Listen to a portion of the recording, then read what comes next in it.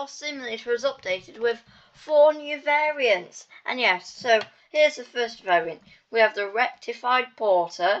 So yeah, we have some porter variants, so that's good.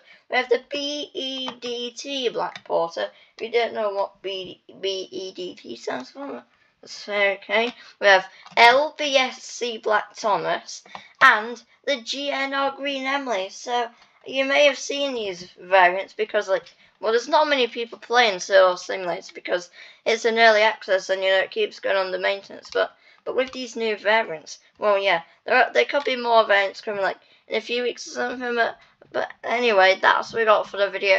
Hope you've enjoyed it. Make sure to like it and I shall see you soon in another video